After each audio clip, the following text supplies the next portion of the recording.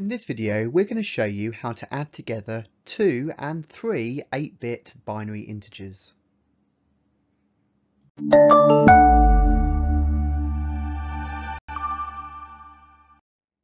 So before we work through some examples with you, let's just go over the basic rules for binary addition. So they're quite simple. A 0 and a 0 in binary equals 0 a 0 and a 1 equals 1. A 1 and a 1 can't equal 2 because we don't have a 2 in binary. So a 1 and a 1 in binary equals 0 and then we carry a 1 to our next column because 1, 0 in binary is the denary number 2.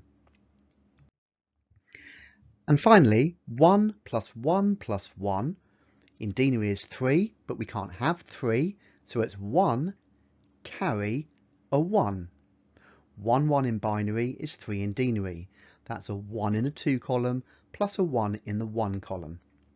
Now these are the only four rules you're going to need at a GCSE level when adding together two 8-bit binary numbers. So let's work through some examples.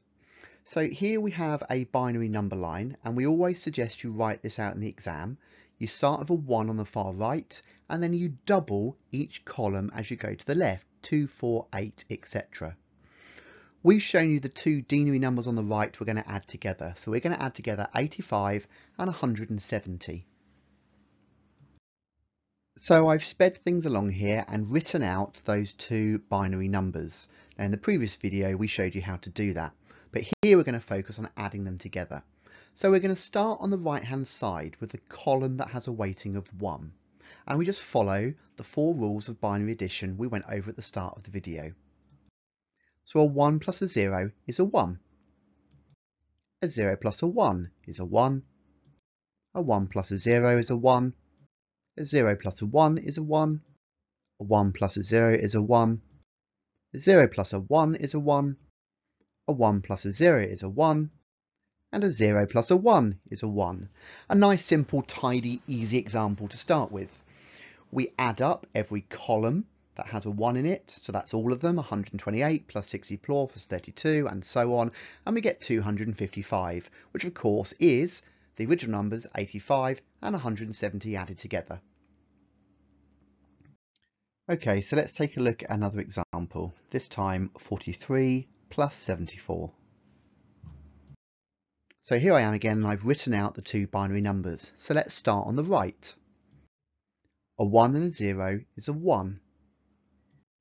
A 1 and a 1 is a 0 and then we carry a 1 to the next column.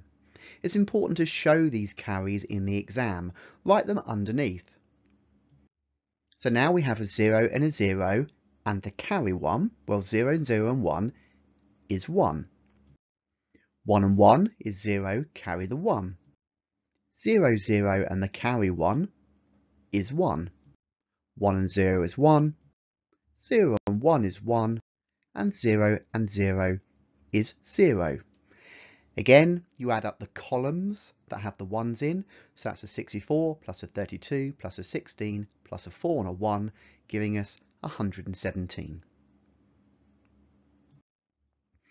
Okay, let's take one more example, 59 plus 124. So again, I've written out their binary equivalents here. Now, why don't you pause this video now and on a scrap of paper, write down the binary addition and then unpause the video and see how you did. So a 1 and 0 is a 1, a 1 and 0 is a 1, a 0 and 1 is a 1. A 1 and 1 is 0, carry a 1.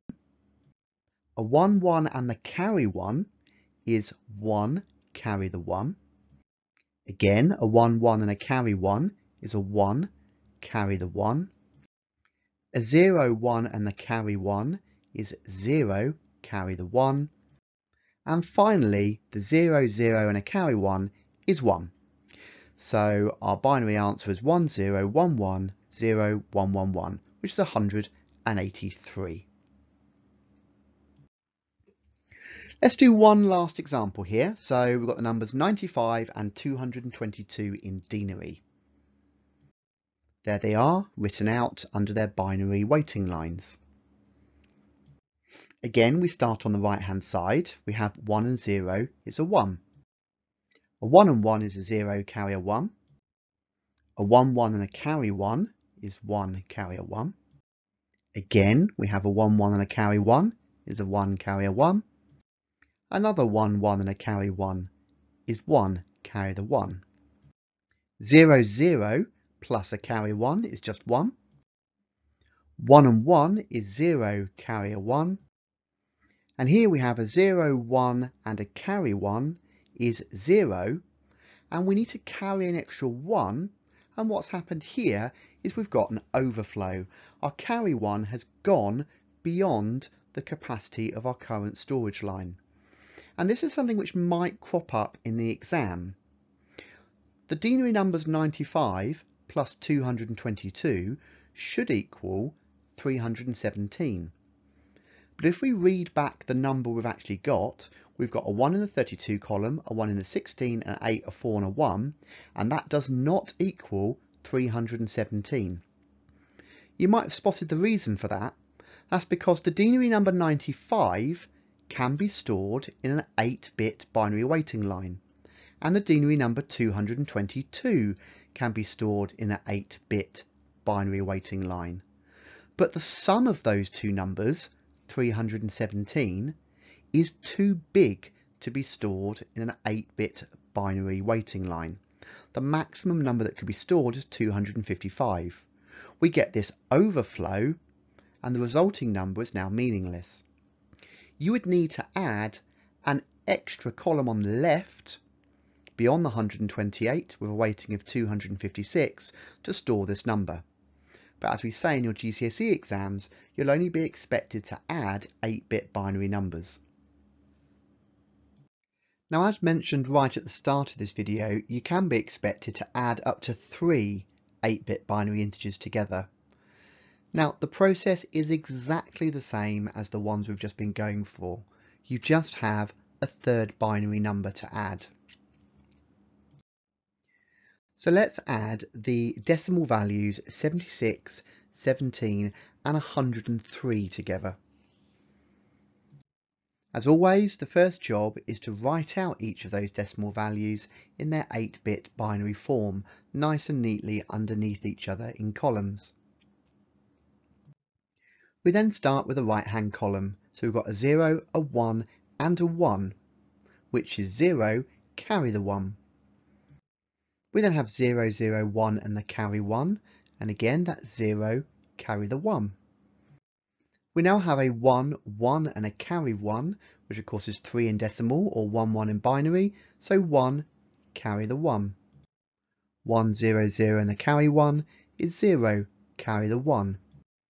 0, 1, 0 and the carry 1 is 0, carry the 1. 0, 0, 1, carry 1 is 0, carry the 1. 1, 0, 1, 1 is 1, carry the 1. And then finally 0, 0, 0 and the carry 1 is obviously just 1. We now add up each of the columns from our answer that have a 1 in it. So we have 128 plus a 64 plus a 4 and our decimal value we're after is 196.